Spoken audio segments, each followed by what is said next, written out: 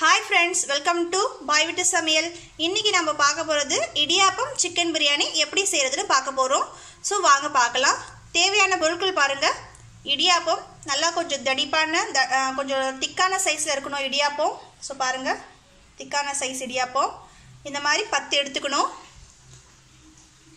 அதுக்கப்புறம் சிக்கன் அதாவது சின்ன சின்ன பீஸாக கட் பண்ணி வச்ச சிக்கன் ஒரு நாலு சின்ன சைஸ் இந்த அளவு இருந்தால் போதும். இந்த இந்த நாலு இந்த பெரிய சைஸ் இருந்தால் போதும். ஸோ அதை சின்ன சின்னதாக நம்ம பீஸ் பண்ணி வச்சுக்கணும். ரெண்டு வெங்காயம் ஒரு தக்காளி ஒன்றுன்றது ரெண்டு கூட எடுத்துக்கலாம். புதினா கொத்தமல்லி அதுக்கப்புறம் அரை எலுமிச்சப்பழம் இஞ்சி பூண்டு பேஸ்ட்டு கரம் மசாலா தூள் சோம்பு காரத்தூள் மஞ்சத்தூள் தனியாத்தூள் தேவையான அளவு எண்ணெய். வானல் நல்லா சூடு பண்ணிவிட்டு மூணு ஸ்பூனு எண்ணெய் விட்டுட்டு அதுக்கப்புறம் பட்டை லவங்கு அதுக்கப்புறம் சோம்பு போட்டுடணும். அரிஞ்சு வச்ச வெங்காயத்தை போட்டு நல்லா பொன்னிறமாக வதக்கணும். நெக்ஸ்ட்டு தேவையான அளவு தக்காளி இஞ்சி பூண்டு பேஸ்ட்டு ரெண்டுத்தையும் போட்டு நல்லா சேர்ந்தாப்புல நல்லா வதக்கணும்.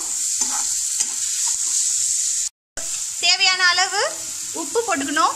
இந்த உப்பு யூ யூஸ் பண்ணிக்கணும். நெக்ஸ்ட்டு சிக்கன் நம்ம கட் பண்ணி வச்ச சிக்கனை சேர்த்துக்கணும்.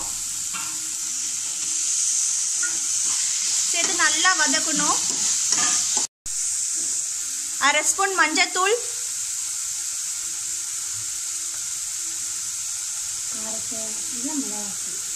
தேவையான அளவு காரத்தூள்.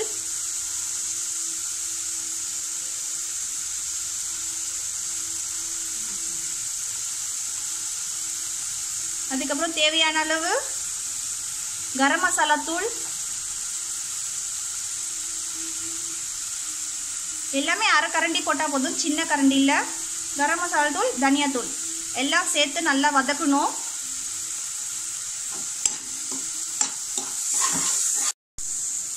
கட் பண்ணி வச்ச நம்ம பாதி துண்டாக கட் பண்ணி வச்ச எலுமிச்சை சாறை நம்ம அது மேலே பிழியணும்.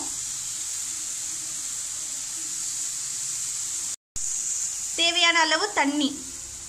அதாவது ரொம்ப அதிகமாக யூஸ் பண்ணக்கூடாது. கொஞ்சமாக லைட்டாக தண்ணி யூஸ் பண்ணணும் ஏன்னா இந்த சிக்கன் வந்து நல்லா வேகிறதுக்காக தேவையான அளவு தண்ணி விடணும் தண்ணி விட்ட பிறகு ஒரு அஞ்சு நிமிஷம் நல்லா வேகணும். அந்த சிக்கன் அந்த அஞ்சு நிமிஷத்துலேயே வெந்துடும். அஞ்சுன்றது ஒரு ஆறு ஏழு நிமிஷம் கூட வச்சுக்கலாம்.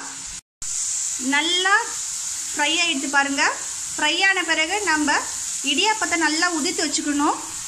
அந்த இடியாப்பத்தை நல்லா உதித்து வச்ச இடியாப்பத்தை நம்ம அதோட போட்டு மிக்ஸ் பண்ணுறோம்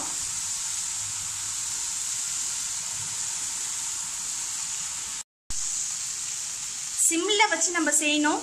ஏன்னா இடியாப்பம் ஏற்கனவே வெந்தது. சிக்கனும் நல்லா வெந்திருக்கும். நம்ம சிம்மில் அதாவது அடுப்பு அடுப்புடைய அனல் வந்து சிம்மில் வச்சுட்டு நல்லா கிளறணும். நல்லா கிண்டிட்டோம். நல்லா கிண்ண பிறகு ஒரு ரெண்டு நிமிஷம் அதாவது கொத்தமல்லி கொத்தமல்லி புதினா எல்லாத்தையும் மேலே தூவி விட்டுட்டு ஒரு நிமிஷம் வந்து நம்ம தட்டு போட்டு நல்லா மூடி வச்சுருக்கணும். அனல் ஆஃப் பண்ணி அதாவது தீ ஆஃப் பண்ணிவிட்டு அதாவது ஸ்டவ்வை ஆஃப் பண்ணிவிட்டு நம்ம தட்டு போட்டு மூடி வச்சிடணும்.